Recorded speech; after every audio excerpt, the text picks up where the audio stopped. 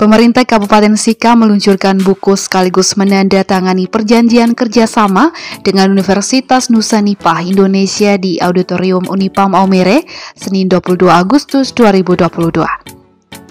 Peluncuran buku tentang profil daerah Kabupaten Sika itu diprakarsai oleh Badan Perencanaan Penelitian dan Pengembangan Daerah atau Bapelitbangda Sika sejak bulan Februari 2022. Kepala Bapelitbangda Sika Femi Bapa mengatakan upaya pembangunan daerah perlu adanya kerjasama para pihak termasuk melibatkan sivitas akademika. Selain untuk kepentingan pemerintah, kata dia buku tersebut menjadi sarana keterbukaan informasi publik yang memuat tentang semua potensi dan perjalanan pembangunan daerah beberapa tahun terakhir. Rektor Unipa Indonesia Angelinus Vincentius menyambut baik itikat pemerintah menggandeng Sivitas Akademika untuk bersinergi membangun Nian Tanah Sika. Menurutnya kampus Unipa sudah meluluskan ribuan sarjana dan akan terus menerapkan metode perguruan tinggi sesuai dengan kebutuhan masyarakat di Nian Tanah Sika dan Nusa Tenggara Timur.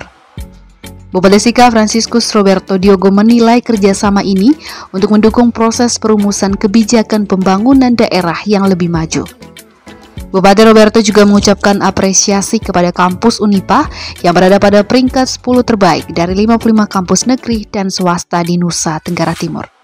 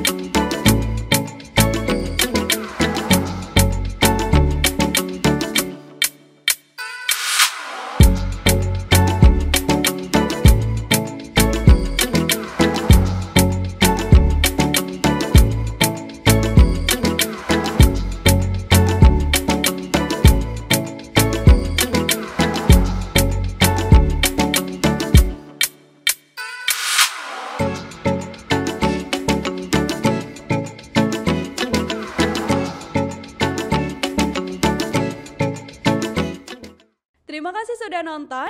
Jangan lupa like, subscribe, dan share ya.